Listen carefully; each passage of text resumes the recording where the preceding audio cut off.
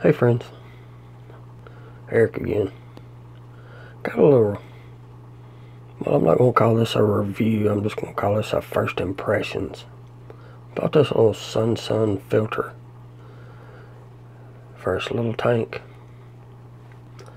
Uh, was going to use it as a betta tank. I know they don't really need all that filtration, but for $6, I wanted to give it a try just to see what it was made out of.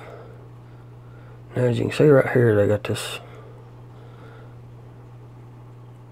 outflow right here with the piece right here. That way you can run it and actually use it to put air bubbles. Now, I'm not really a fan of those. So I went with this option with the spray bar. This is like a little five or six gallon acrylic tank. Not really designed to have a filter on it. But with that being said, it does a pretty decent job. And this, this tank's about 15 or 16 inches across. And you can see that horn right there on the far side.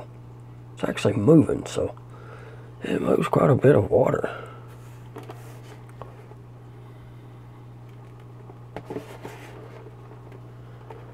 Uh, it's specs right here.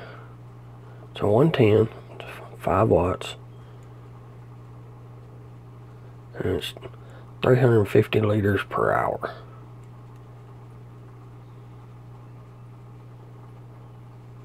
That's fairly decent. So, I really like the way it works. I did notice that this morning it's been running for over a day. When I got this morning, it was humming a little bit. It's tricky the way that the two pieces, the top piece and this bottom piece go together. So you just have to reach in there and squish it together.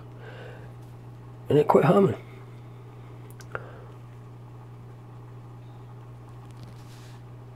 So, I think for $6, if you just need a little small pump for a little small tank, I probably wouldn't go as far as putting it in a 10 gallon.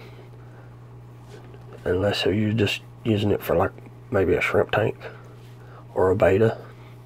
But if you got more than one or two fish, you probably want something a little bigger.